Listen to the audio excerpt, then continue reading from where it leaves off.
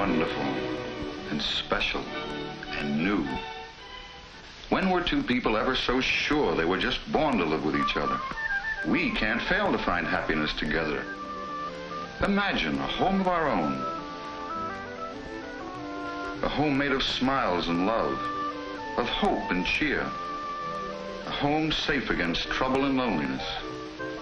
A sunny, cozy place, all of our own. And you'll do this? And I'll do that. And we'll never want it to be any other way again, ever, for the rest of our lives. Now, let's see. You've known each other for... Three months, one week, two days, and uh, 17 hours. Have either of you ever been in love before? Well, but not like this. This is the real thing. Yes. Well, it's all right if you have it, fine. It's a very important factor in building a happy marriage. But tell me, how do you know it's real love? The kind you can get married on? Mom, how can I tell if... I mean, how did you know when you were in love with Dad? I've been in love several times before. And each time I thought I'd found my Prince Charming. Well, then, how can you tell when you're really in love? So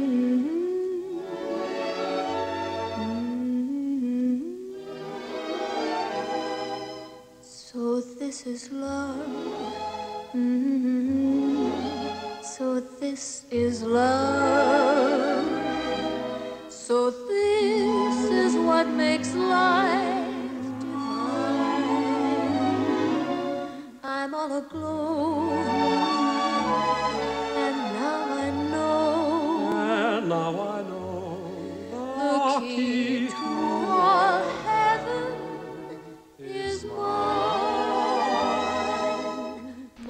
I tell you, Bob, Nora's the prettiest girl I've ever known.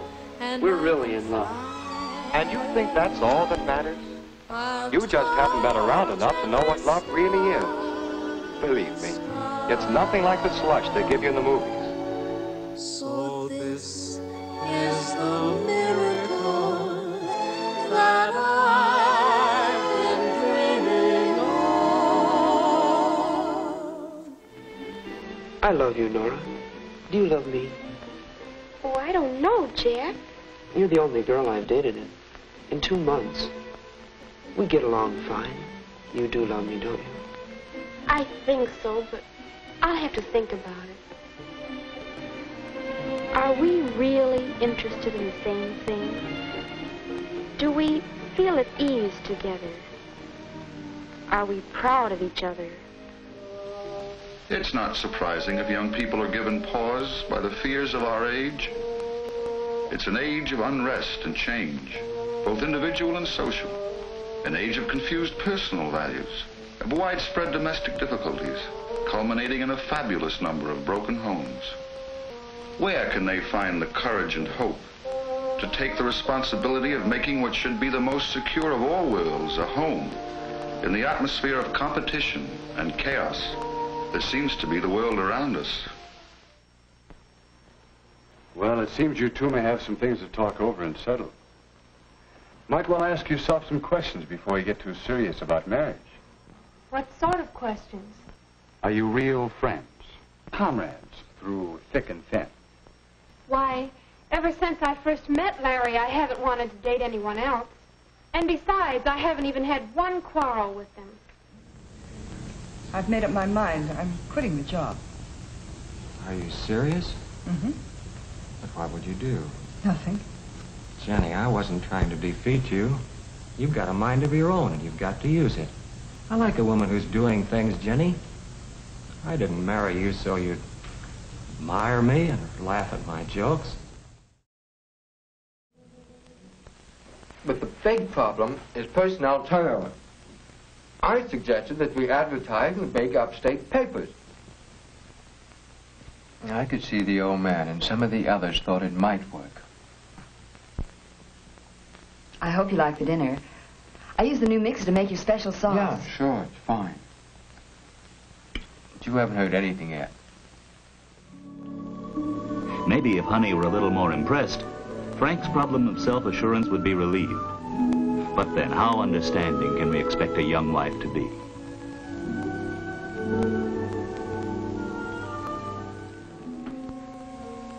All I'm trying to do is make the house livable. Make myself look human. Make the meals eatable with that little bit of money we have. How does he even dare mention money around me? He knows I haven't a thing to wear. After the workday, I'm supposed to help around the house. I've practically got two full-time jobs. I'm just a slave around here. You must be crazy. Every single piece of this furniture is something she picked out. She liked. She saw in a magazine. She wanted. She, she, she. Well, I've had enough. It's time I started doing what I want. Everybody else leads a normal life. Why can't we? Yes, I want a home and kids. But I'm not going to be a fool like Mother, bending over a wash tub all her life while Dad went around as free as air. If he thinks I'm going to obey his every command, he can get right out of my life. And I mean it, right out of my life. I'm fed up with warmed up leftovers and dishes in the sink. She can't even find time to sew on a button for me. What was she thinking of when she said, I do? I suppose part of me never really did get married. Talk at the dance last. In the garden, you know. Well, I think that love, a, a real mature love, is more than I'd imagine. We're not ready for that kind of attachment, are we? When the two of you are ready for marriage, you'll sense a new feeling between you. The two of you united as a pair, thinking as one unit, acting as one unit, in the building of a marriage and a new family. When you two met, there was probably an early physical reaction, a romantic attraction that hits you sort of boing. There she stands, the girl of his dreams. Who she is or whence she came, he knows not, nor does he care. For his heart tells him that here, here is the maid predestined to be his bride. Do you both understand marriage? Oh, not the kind in most movies or in most popular songs, but the real everyday kind of marriage between real people. Do you understand it? Well, golly, Mr. Hall, I don't know the answers to all those questions. I just know that I'm in love with Sue. Is that bad? On our way now. Can't turn back. I wonder what will happen from now on. I wonder.